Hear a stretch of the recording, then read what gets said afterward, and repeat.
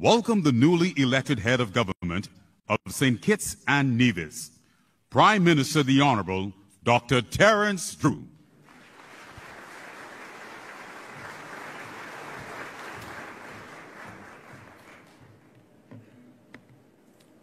Good evening, all. From where I stand, a sea of beautiful Caribbean people, I wish you had this vantage point as I do. It gives me great hope that our future as a civilization is, of course, cemented. It's a pleasure.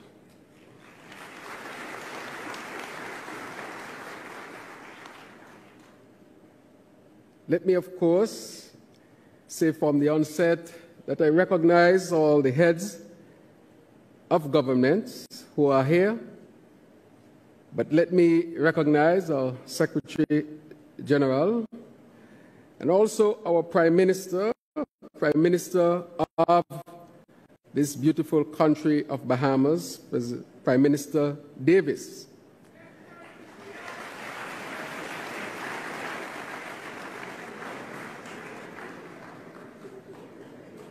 And I see, of course, a lovely lady next to him, and if it is your wife, I want to recognize her as well.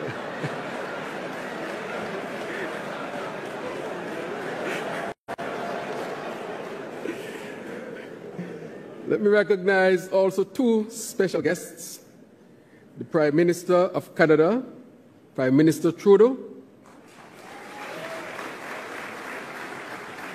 And he apologized earlier for not bringing his wife.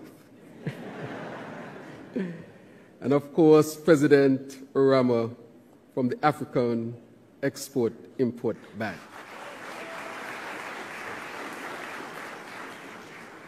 I deem it an honor for me to deliver brief remarks at this, the 44th intersessional meeting of the Conference of Heads of Government of the Caribbean community in this beautiful city of Nassau in the Commonwealth of the Bahamas.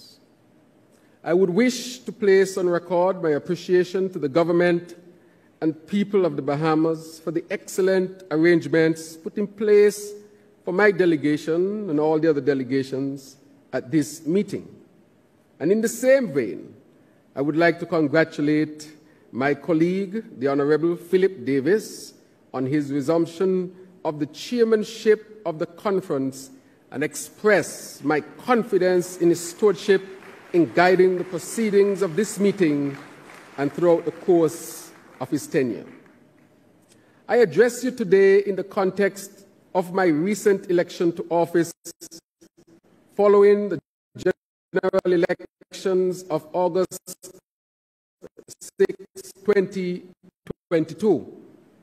I am conscious of the mantle of leadership and the strong mandate given to me by the citizens and residents of St. Kitts and Nevis and pledge to do my best to ensure that our decisions at this level redound to the benefit and by extension to the people of our Caribbean community.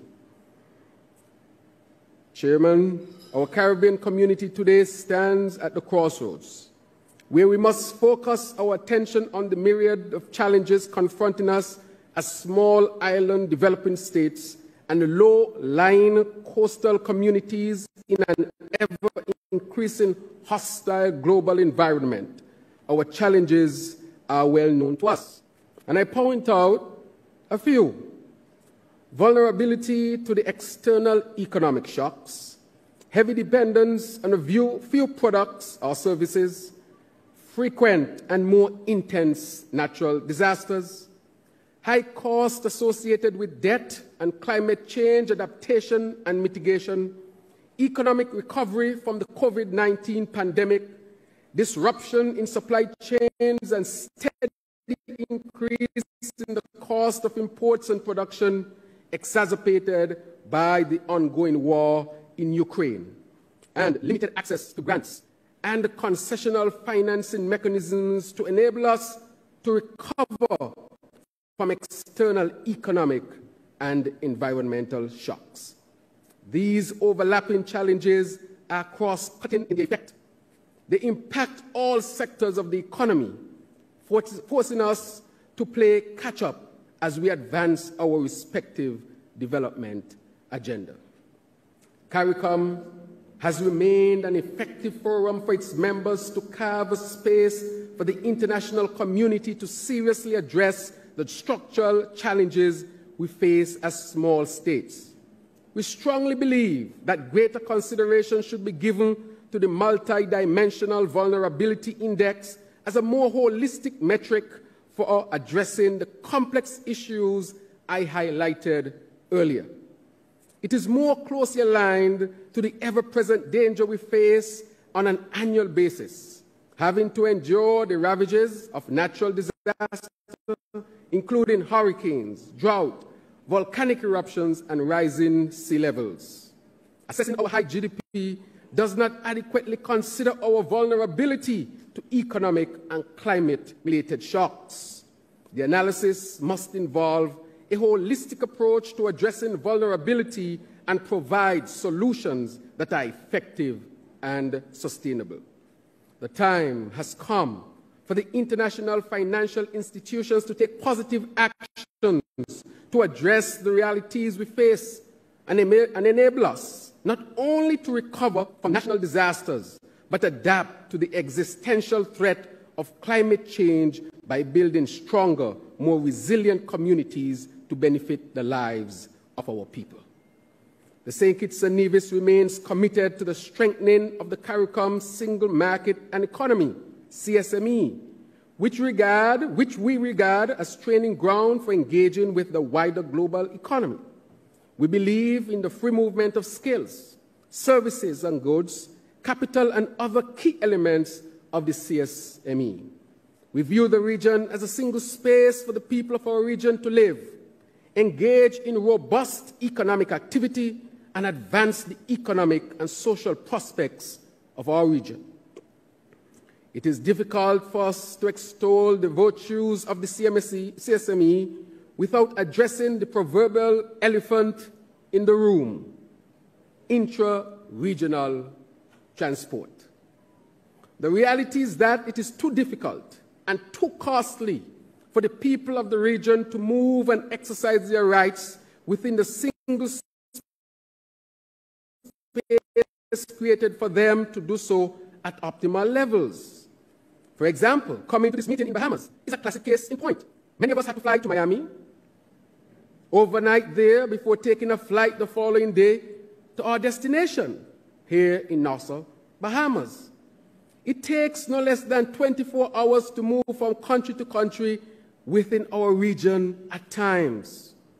Compared to other nations, developed countries with highly developed transport means and modalities, we in the Caribbean remain at a disadvantage in realizing the benefits of the CSME that the framers of the CARICOM Treaty envisaged.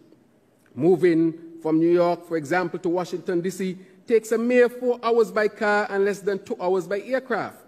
The contrast is a stark reality of the challenge we face on an ongoing basis here in the Caribbean.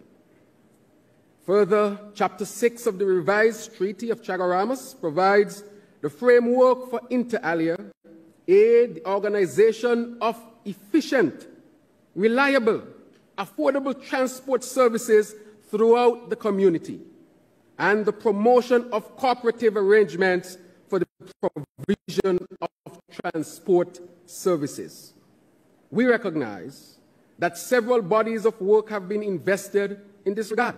The Caribbean Development Bank and other key players continue to seek a sustainable solution to fix the gaps that exist and breathe life into Chapter 6 of the revised Treaty of Chaguaramas.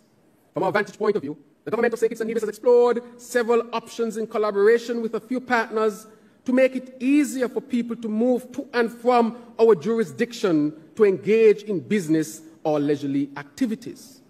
We encourage other member states to do likewise. We can do it together. We cannot rest on our laurels while the efficiency gap gets wider, causing us to fall behind in achieving our development objectives. And as we approach the celebration of our golden anniversary of our beloved Caribbean community, I urge us to redouble our efforts to improve the effectiveness of and efficiency of organs of our institution. Let us strengthen the pillars of functional cooperation.